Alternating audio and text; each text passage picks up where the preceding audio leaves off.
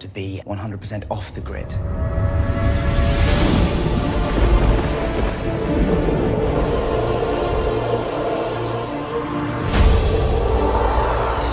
The only true freedom lies in not being seen.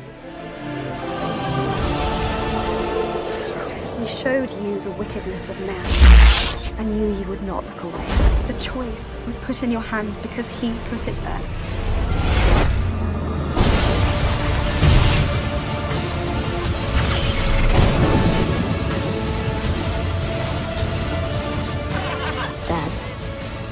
What if I am put in Slytherin?